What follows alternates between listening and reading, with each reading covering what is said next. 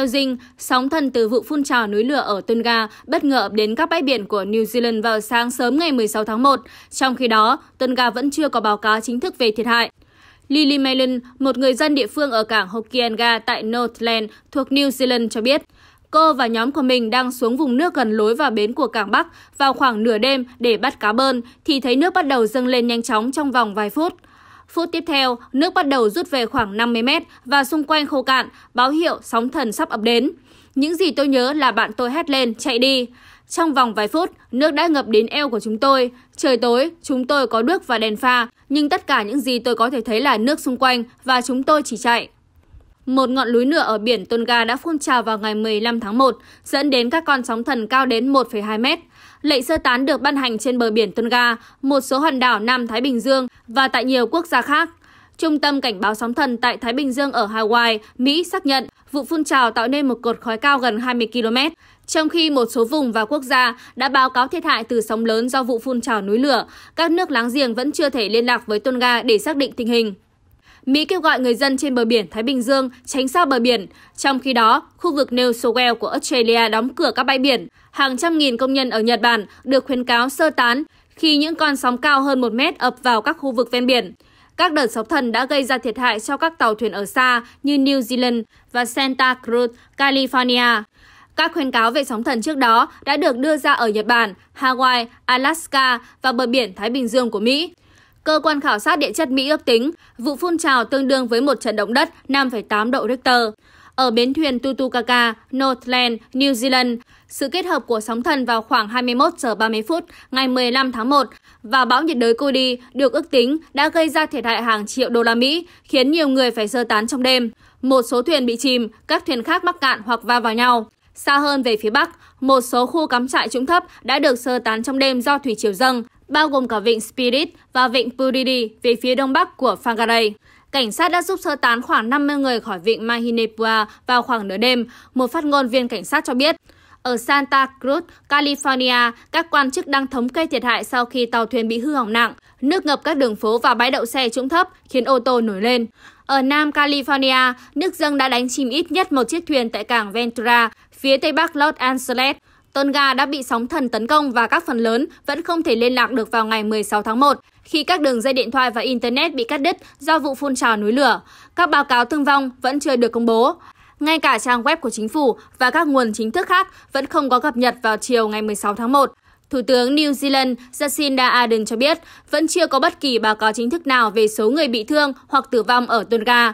Bà cũng cảnh báo rằng các nhà chức trách vẫn chưa thể liên hệ với một số khu vực ven biển và các đảo nhỏ hơn. Bà Ardern cho biết đã có thiệt hại đáng kể đối với tàu thuyền và cửa hàng dọc theo bờ biển Tonga. Thủ đô Nuku'alofa của Tonga bị bao phủ trong một lớp màng bụi núi lửa dày đặc, làm ô nhiễm nguồn cung cấp nước. New Zealand đã không thể gửi máy bay giám sát quân sự qua Tonga vì cột khói cao, nhưng bà Ardern hy vọng có thể sẽ gửi viện trợ đến vào ngày 17 tháng 1.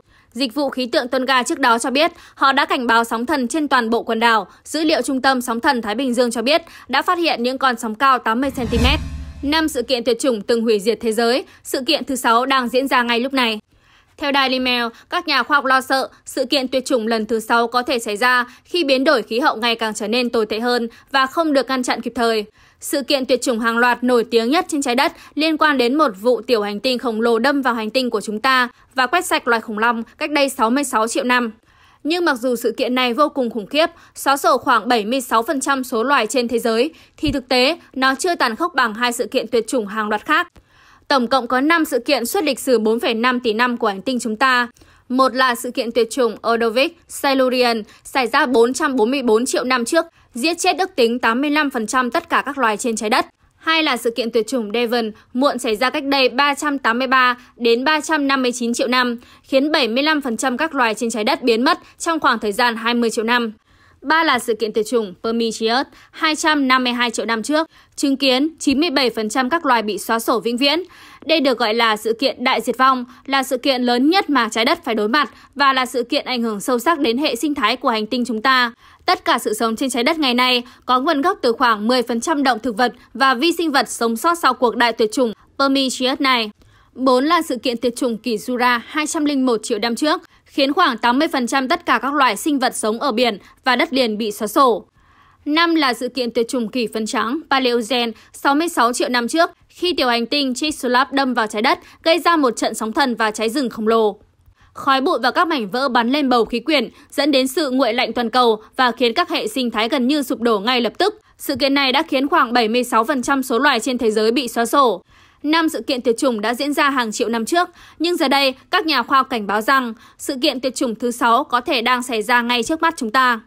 Mối đe dọa tuyệt chủng lần thứ sáu không đến từ một tiểu hành tinh khổng lồ lao về phía chúng ta từ bên ngoài không gian.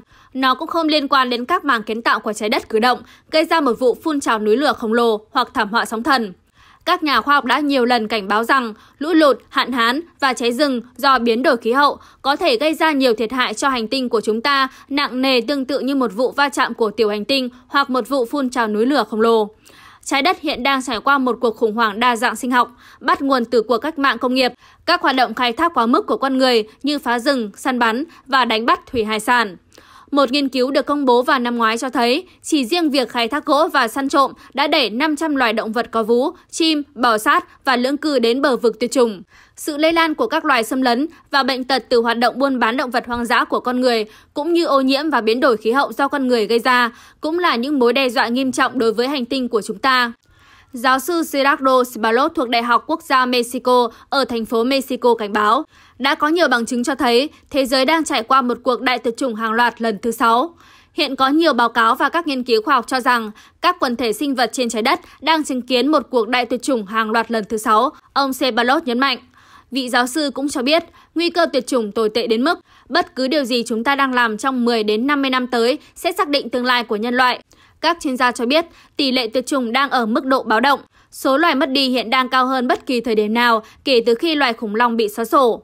Theo họ, nếu tốc độ tuyệt chủng hiện tại tiếp diễn như trên, chúng ta có thể phải chứng kiến sự tuyệt chủng hàng loạt lần thứ sáu trong khoảng 240 đến 540 năm tới.